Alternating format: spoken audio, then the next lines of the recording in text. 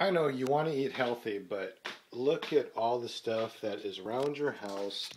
I know it's difficult because you may want to lose weight, but the people in your household may not really want to do what you're doing. So, what do you do when there's all sorts of crazy cravings around?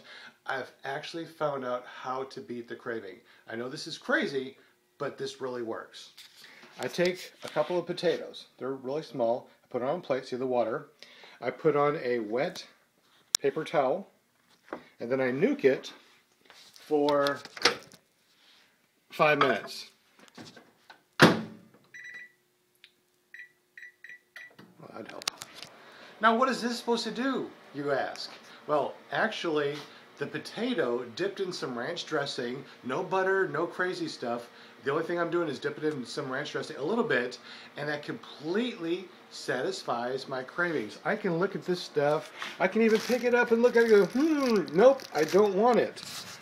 Why? I don't know. Probably the complex carbohydrates.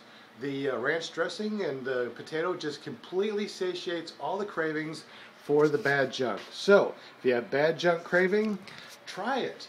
Think about it. I mean, I know you're like, but potatoes are bad. They're full of starch and complex carbohydrates, and the ranch dressing's bad. All right, look at the alternative to eating a small potato with some ranch dressing. No butter, no other junk on it. Try it. See if it works for you. I know it works for me.